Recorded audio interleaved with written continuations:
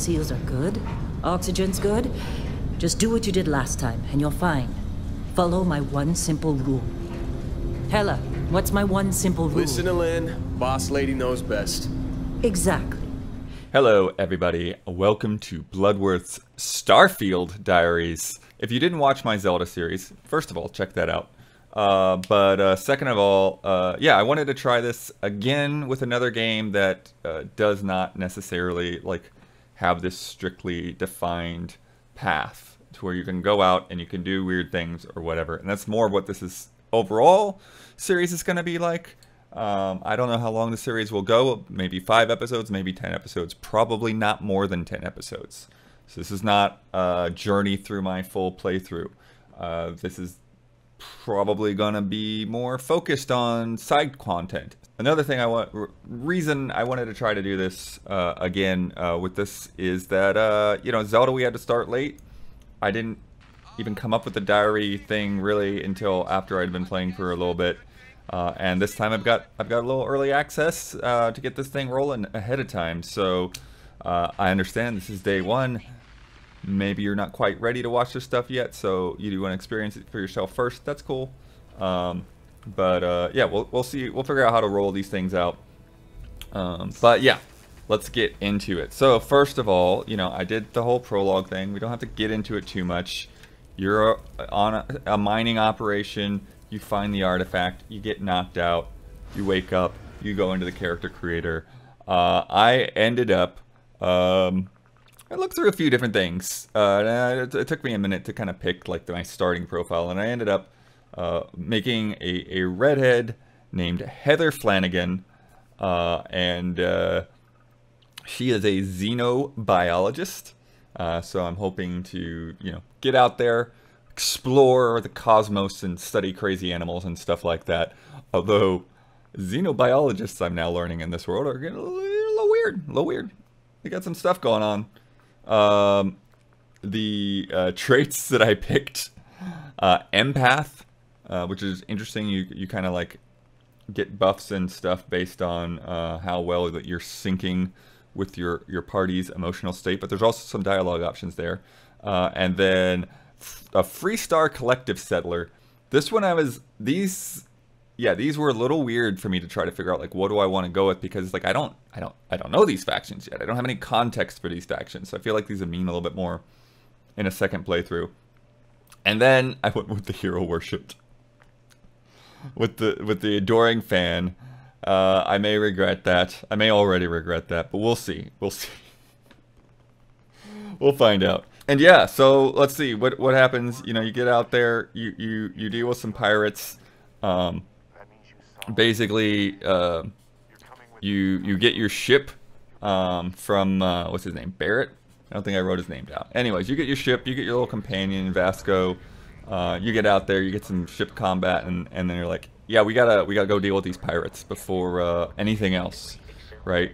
Uh, and there's a there's a lot to absorb. There's just constantly a lot to absorb. You're getting a lot of systems in here and there, and so it's hard to kind of keep up with. Is like okay, oxygen meters, and then when you're on the ship, it's like okay, well you can change all the the powers and, and move powers from the shields to the lasers and all that kind of thing. It's like that's cool, but I don't I don't know if I understand the situations I need to do that in. I'm just let, let me like uh, pew pew right now a little bit.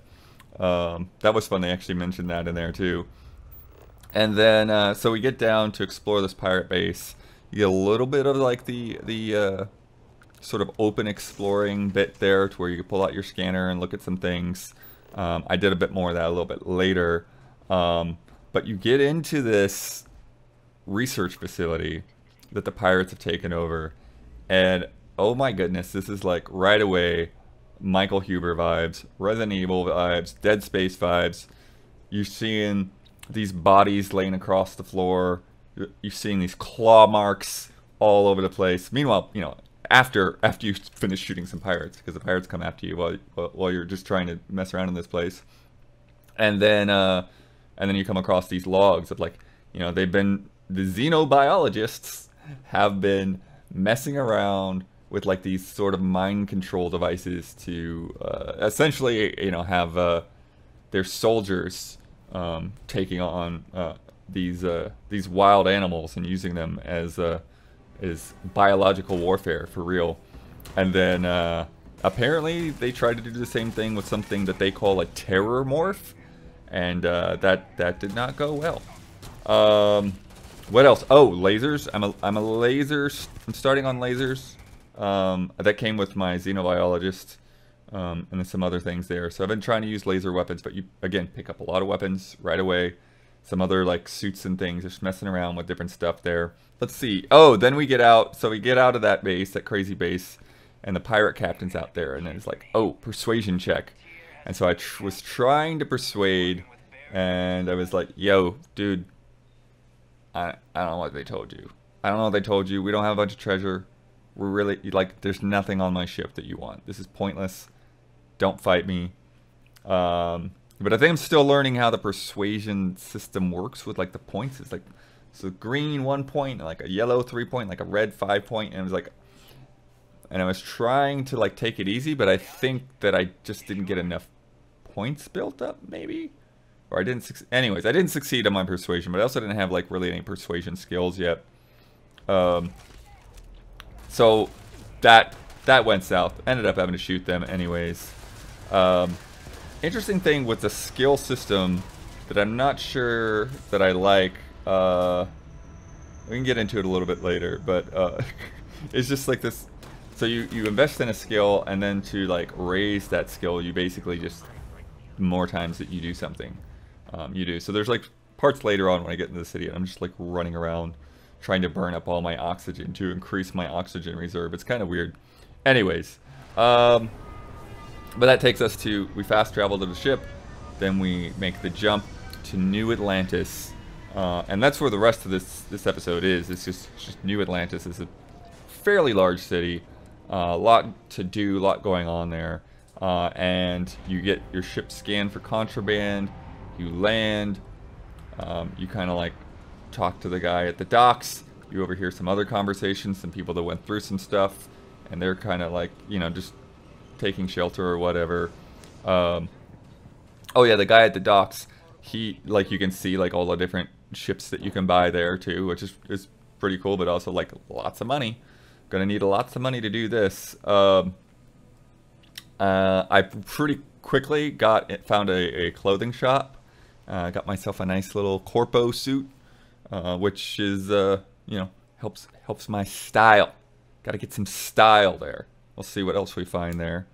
Um, yeah, yeah, and then this is when I was running around, getting run because it's like you run out of oxygen and then you fill up on CO2, and then and then that's what I think counts to like the, do this 20 times um, to to increase your oxygen capacity or endurance or whatever. Uh, but while I was exploring, spent a lot of time exploring the city, um, I uh, uh, you you sort of as just as you're passing by people talking like you'll get like sort of like these smaller side quests that they call activities. And uh, I got this one of this this tree.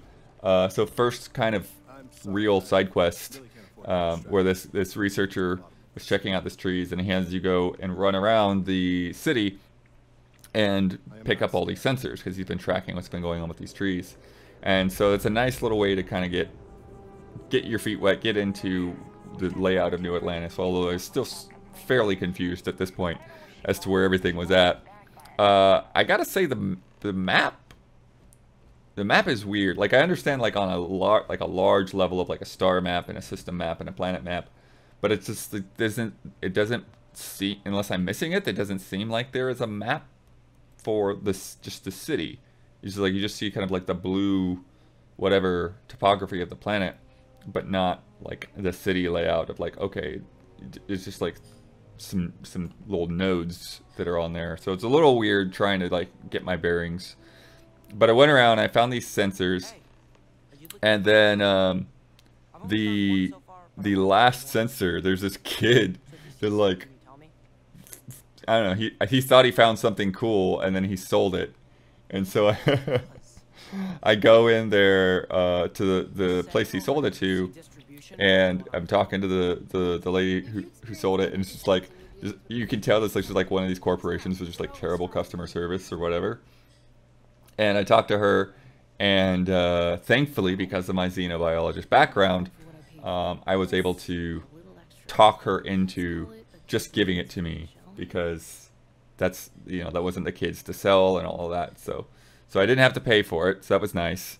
Um, and then um, yeah, and then I take it back to him and he's like, yeah, the trees are putting out low frequency sounds. Like, okay, what? Yeah, that's that's kind of crazy. So anyways, um, I we'll we'll get back to them in a bit. Uh, then I go do Constellation, and like I said, I don't want like to dig too deep into uh, the story events. But you know, if you've gotten to this point already, or even if you've seen the previews, you know the artifacts float up in the air. They make you a part of this organization called Constellation that is like a, a bunch of explorers, and they're studying these ancient artifacts and trying to figure out like what is up with this. Why did you have a vision? Uh, and so getting to know all of those guys um, and uh, this new place, this new outfit that you're a part of. I did first really uh, important and noticeable bug here. So they tell you to uh, you know talk to Noel to to so show show you her room, and I talked to her for a while about all kinds of stuff, and then I was like, oh yeah, you're supposed to show me where the room is. He's like, oh yeah, yeah, I'll give you the full tour. Follow me. Nothing happens. Just nothing. So I ended up reloading the save and going back through the whole cutscene and the introductions and all that all over again. And then it and then it worked. Then she gave me the tour, showed me the bar, showed me the gardens, and then took me to my room. And I'm like, if I had not gotten like, because that sequence just broke basically. Uh, if I had not gotten that sequence, I would not have known that was my room. There's just no way. Uh, there's so many rooms up there that usually don't seem to have anyone in them. But then I, I was starting to, I wanted to really get to know the city, really understand like how everything, where everything was, make sure I saw everything. And then I saw that you could just hop the fence, which is something that I really, uh, I'm not super surprised by, but still a little bit surprised that you you can just walk right out of town.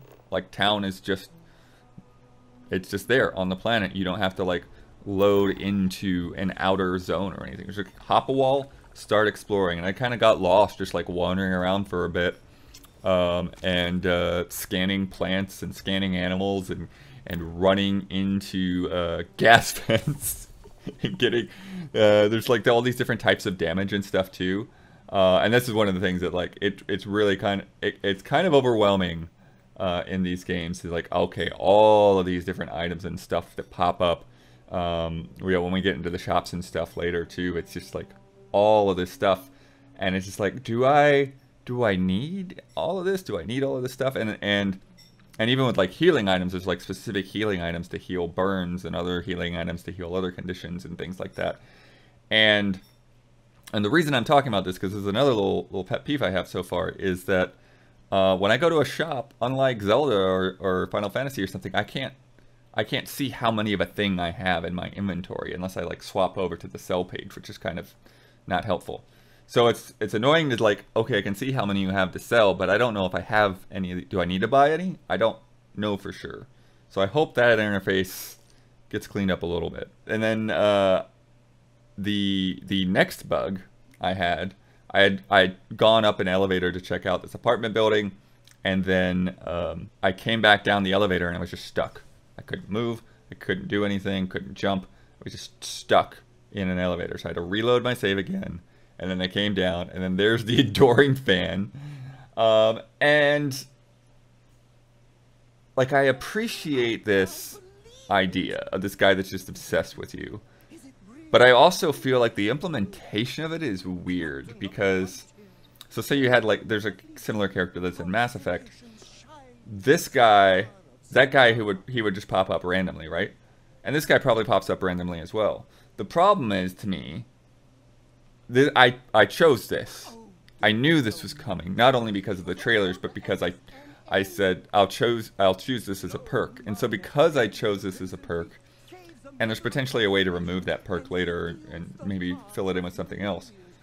But because I chose it as a perk, now I kind of feel obligated.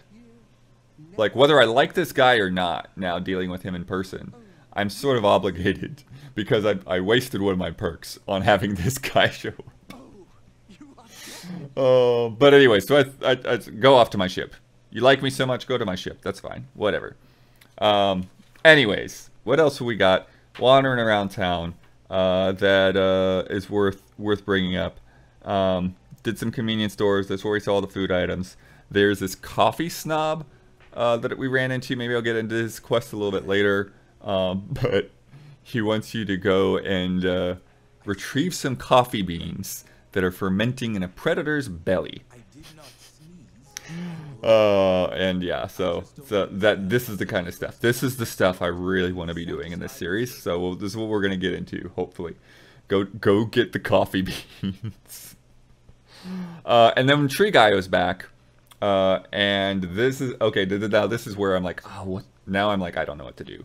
So Tree Guy needs some more data. This tree is causing this low frequency stuff it might get worse. It might start making people sick. It might start causing structural damage. We don't know what's going on. But this other scientist, he's got the data. And he's like, uh, this guy doesn't like me. Can you go and try to get the data from him, you know, and, and all that. I go over to talk to this guy. He's on to me immediately. He knows that the other guy sent me to, to come talk to him. And he's like, well, you know what? Uh, oh, and I tried to, yeah, I tried to, like, do my empath skills. Try to like, you know, be like, be your fr- like, hey man, like I know where you're coming from. All this stuff, just I get it. And and he's like, yeah, I don't care. Uh, I I'm not gonna I'm not gonna give anything to that guy. And it's like, uh, okay, this is for the good of society and the city, but okay. Uh, and this guy wants me to go into the scientist headquarters or whatever and hack in and like make his personnel file look better for him. And I'm like, like I'm like ah, I don't I don't know if I want to get into this right now. So like I kind of left that hanging. Um, I, I also don't have any hacking skills, so like this could go really far south. This could get botched. So I went back, talked to the first guy, and I'm like, you know, hey, maybe you just be the better man. Maybe apologize to him. And he's like, no, that guy's a terrible scientist. I'm like, okay, okay, dude. All right, got it, got it. So I'll just leave things for now. Maybe come back. I haven't gotten to the place where you could potentially do that, but we'll see. We'll see. Um, and yeah, some other little places I went around. Uh, I, I I found this girl that was just kind of like, whatever, uh, very nonchalant, uh, sitting in a bank, talking about wanting to become a banker because you know she can't be a necromancer, so this is the next best thing. Uh, and then there was an actual banker in there uh, who uh, wants me to go out and collect on some debts. He's assuring me that these are bad people that are defaulting on their debts. They're not poor, not poor people that you're going to exploit. Sarah's not into this idea whatsoever. But anyways, so and then uh, went and found a, a, tablet for a guy who lost a lot of uh, confidential information, but we got it back. So hopefully that's good. Anyways, uh, I've gone too long. Let's just say that I've gone too long. Uh, this is as long as these episodes should get, so uh, we're gonna cut it off there. Uh, but we're you know we're starting out. We're we're getting our feet wet. We're figuring out things. There's still a lot of not super comfortable with doing yet, and under, have to understand. Um, but yeah, we're we're we're one city. not even finished exploring one city of many many planets uh, and star systems to come. Uh, so thank you uh, for for joining me on this. Uh, let me know what you think of things so far and these stories, and I will try to uh, trim this down a little bit more next time around. And uh, thank you so much for watching. check us out at patreon.com/slash easyallies to support these kinds of projects and all the things that we do, from reviews to podcasts to streams. And we will see you next time.